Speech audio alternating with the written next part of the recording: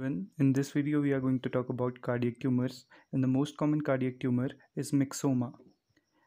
Note at first place itself that most common tumor in children is rhabdomyoma. Okay, we will talk about myxoma in this video. Now myxoma is most common primary cardiac tumor that is found in adult. It is more commonly found in female rather than male and it has sporadic occurrence.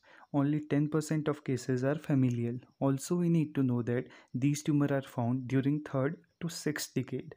Now, the most common site for this myxoma is the interatrial septum. This being the right atria and this being the left atria.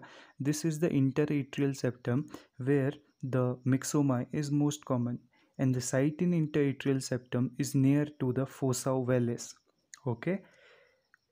These myxomas present with mitral valve disease symptoms. Okay. Because it is present near to the mitral valve so the symptoms seen in the myxoma may mimic mitral valve disease.